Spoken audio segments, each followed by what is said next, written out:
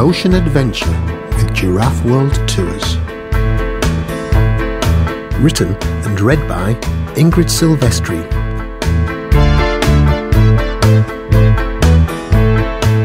With music by Ingrid Sylvestre and Trevor Sewell.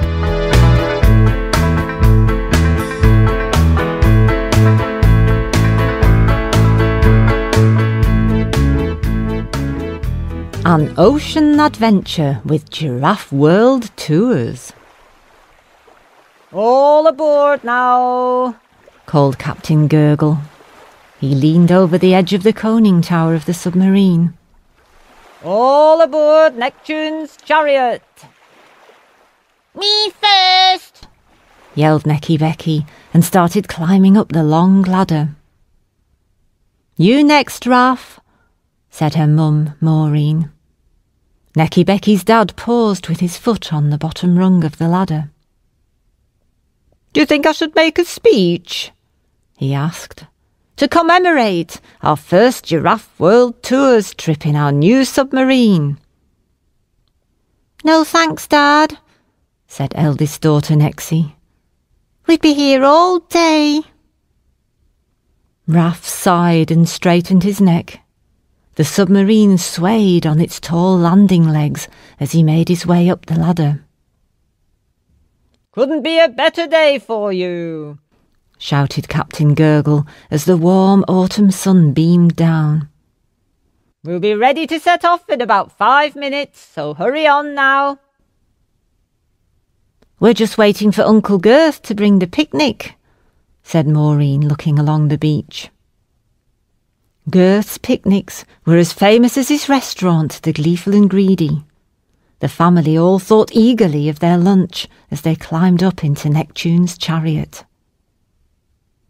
For the next five minutes, they stood in the conning tower, looking excitedly out to sea, towards the island where they were to moor their vessel.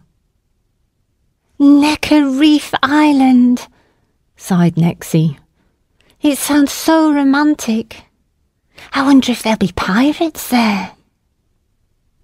There might be buried treasure, said Necky Becky. House can dig it up.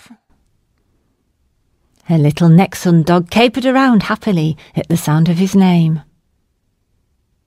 Going to have to set off, said Captain Gurgle. The tide'll be wrong if we wait any longer for your picnic to arrive. I've got some sailor's biscuits in the hold which we can eat instead. Everyone's necks drooped a little. Dry sailor's biscuits instead of one of Girth's picnics. However, the prospect of their underwater outing soon revived their spirits, and as the submarine's engines whirred into life, they all stood craning their necks towards the horizon. The submarine's lanky legs carried them jerkily into the shallows. The water got deeper and deeper, and they all felt the strong current pulling against the craft.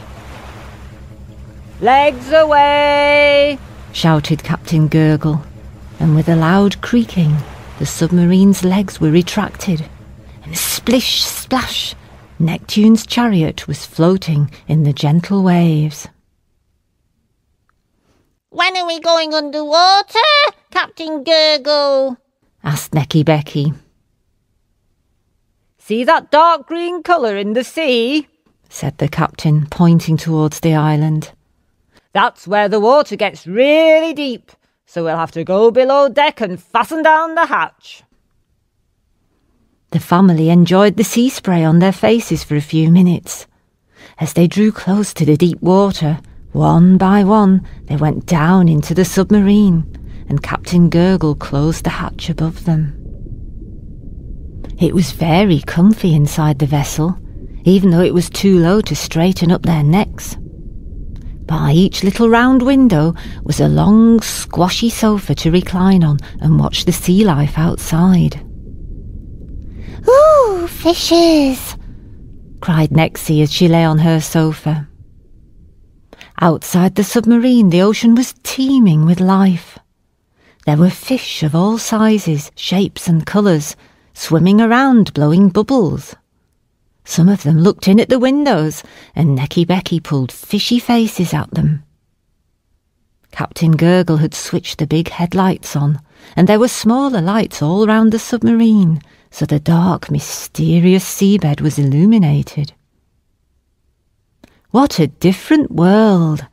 exclaimed Maureen. I think I'll write an article about this for the Northern Necho, said Raph. And in my blog. Nexie rolled her eyes and groaned. It would probably bore people so much it'd put them off our tours, she said witheringly.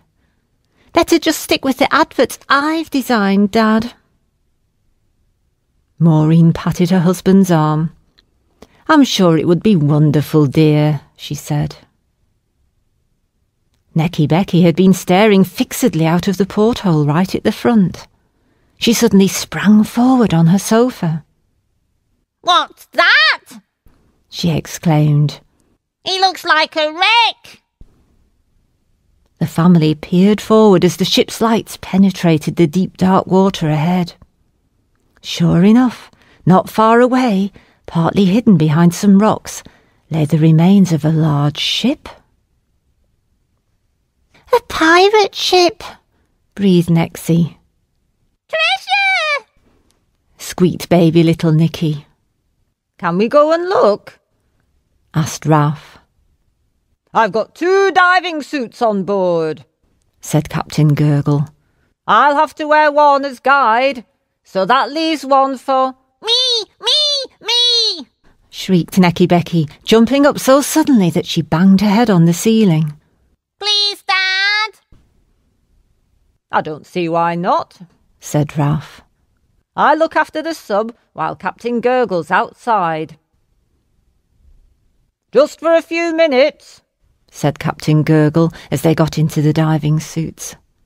He opened the first of the pressure doors, and Necky Becky went eagerly through. It was the most fantastic experience of her life. As she walked carefully behind Captain Gurgle, shoals of little fishes swam around her, butting against her helmet. Brightly coloured coral and little sea urchins gleamed on the ocean floor and even on the ancient timbers of the wreck.